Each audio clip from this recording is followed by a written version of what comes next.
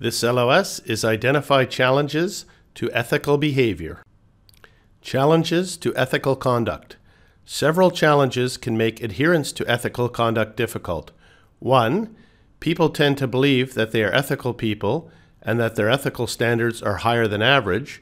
And two, a second challenge is that decision makers often fail to recognize and or significantly underestimate the effect of situational influences, such as what other people around them are doing. Situational influences are external factors, such as environmental or cultural elements that shape our thinking, decision making, and behavior. And that's the only slide for this LOS. Thank you.